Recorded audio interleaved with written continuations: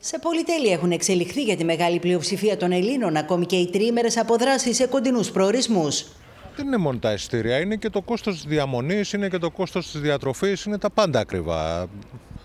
Ανεβαίνουν τα πάντα εκτός από τους μισθούς. Τα στοιχεία της Ομοσπονδίας Ελληνικών Συνδέσμων Τουριστικών και Ταξιδιωτικών Γραφείων μιλούν για μειωμένες κρατήσεις κατά 8% σε σχέση με πέρυσι για το τριήμερο της 28ης Οκτωβρίου. Είναι περίπου 10% μείωση σε σχέση με πέρυσι.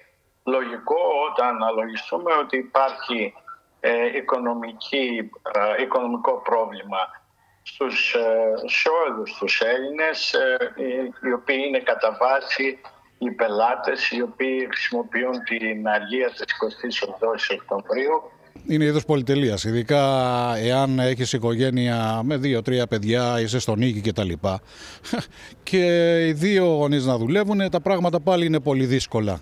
Επομένως, έχει γίνει ένα είδος πολυτελείας πάρα πολύ ακριβό για τις μέρες μας και δυσπρόσιτο για κάποιους. Αν και η εικόνα σε μεμονωμένους ελληνικούς προορισμούς μπορεί να δείχνει ικανοποιητική, το γεγονός ότι οι δημοφιλείς για την εποχή προορισμοί είναι κατά κύριο λόγο μικροί ορεινοί οικισμοί με μικρή δυναμικότητα, δεν επιτρέπει την ασφαλή εξαγωγή συμπερασμάτων για την ευρύτερη εικόνα της ζήτησης του τριημέρου.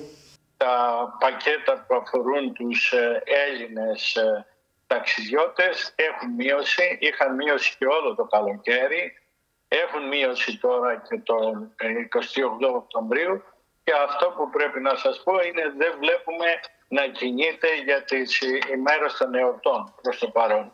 Ο κόσμος δεν μπορεί να ταξιδέψει εύκολα. Εκτός από τον κοινωνικό τουρισμό είναι δύσκολο για κάποιον Έλληνα να ταξιδέψει. Ειδικά για τριήμερο πλέον. Δεν είναι εποχές 90 που φεύγανε για πλάκα, για ψώνια στην Αθήνα κτλ. κτλ. Τα πάντα είναι στα ύψη. Η μεσαία τάξη έχει εξαφανιστεί. Λογικό είναι να δυσκολεύεται ο κόσμος. Αυτοί που έχουν απομείνει είναι άνθρωποι του μεροκάματου, οι οποίοι ίσα ίσα τα βγάζουν πέρα. Επομένως, τι να κουβεντιάζουμε για ποια τριήμερα. Με την οικονομική δυσχέρεια να πλήττει τα νοικοκυριά, τα ταξίδια, ακόμη και αν είναι ολιγοήμερα, μοιάζουν άπια στο όνειρο. Οικονομικά ο κόσμος ζορίστηκε και ζορίζεται. Και αν κατάφερε και φέτος και πήγε κάποιες μέρες, ήταν πολύ στριμωχτά. Το βλέπαμε δηλαδή ότι ο κόσμος ε, έχει πρόβλημα οικονομικό. Μετράει και το σένς, χωρίς υπερβολή. Τη δυναμική τους ωστόσο φαίνεται να διατηρούν οι οργανωμένες εκδρομές σε ελληνικούς και ξένους προορισμούς.